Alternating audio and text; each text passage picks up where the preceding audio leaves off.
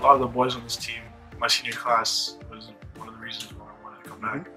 Um, I mean, the, the bonds that I created with them and uh, just leaving them behind like that, I didn't think it was the right thing to do.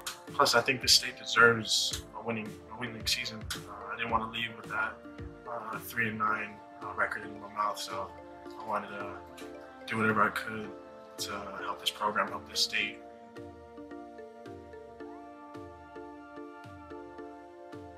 Think the main thing we have to do is just buy in to this new program. Um, as long as the players know how to adapt to a new scheme, um, we'll be fine. Um, the biggest thing is that we have to do as a technique is learn how to tackle better. Um, we made a lot of missed tackles last year, so we want to improve that and just uh, make sure that we secure our tackles and just win that battle. It's that one-on-one uh, against uh, that runner. I think that a lot of the boys are doing their best to perfect their craft and just take down every little detail and technique that our coaches teach.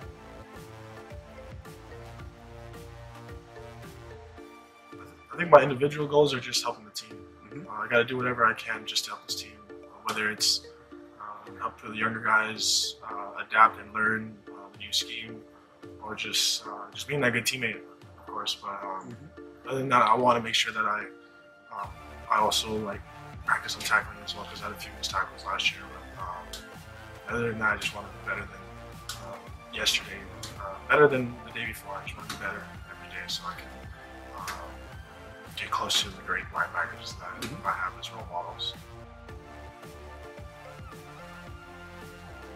Uh, so my younger brother Justus Tavai is coming in as a sophomore. Uh, he'll be playing D-line. Um, he's much bigger than I am. Actually, all my brothers are bigger than I am. But um, he's excited as well. But he's there's something about him that really motivates me to just make sure that I'm doing my best. So if he sees me doing that, it's just gonna be a domino effect for him. Mm -hmm. But uh, he brings a lot of juice to the table. Well, my favorite players from the start were my older brothers, uh, Jordan and Jr. Um, they really like set the tone for me and my younger siblings, the more you look into the league, um, and just like in college, I had uh, there's a guy at SC, um, Rey Maualuga. He was a big, big time like role model, like just someone I wanted to watch and like really imitate.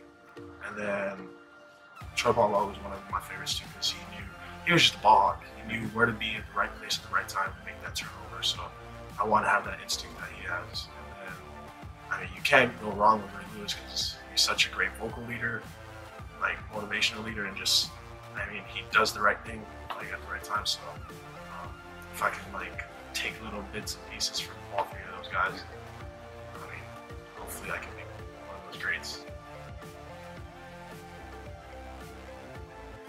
I mean, rugby is an intense sport, you have to really have that mentality that you got to be that bad dude on that field. If you don't, then you either get run over or um, someone's gonna just break your tackle with everything. That game's like fun as well because during the game you guys have that hostility and just um, anger against the other team after the game. You just you go have like a few drinks with them, or you just it's just such a great like um, great gentleman game. But I'd have to say rugby is more intense. So um, I'm trying to work into this foster care agency. Uh, so hopefully, if that works out or not, but um, my plan B after that is either become a teacher or uh, high school counselor. I'm trying to give back to the community. Um, just share some insight about how it was.